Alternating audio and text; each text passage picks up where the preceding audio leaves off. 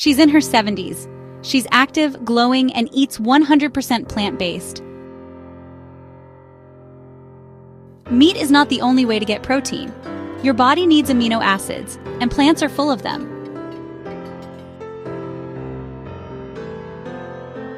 Beans and legumes are a good source of protein if you're trying to avoid eating meat or just want to decrease the amount in your diet. Cooked, lentils has about 9 grams of protein per 1 half cup. Tofu has about 10 grams per 1 half cup. Quinoa has about 8 grams per cup. Chickpeas has about 8 grams per 1 half cup. Hemp seeds has about 10 grams per 3 tablespoons.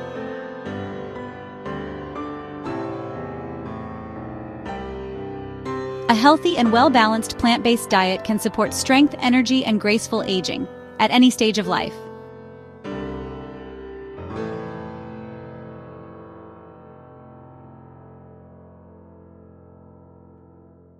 Follow at JossPop Health for truth, not trends.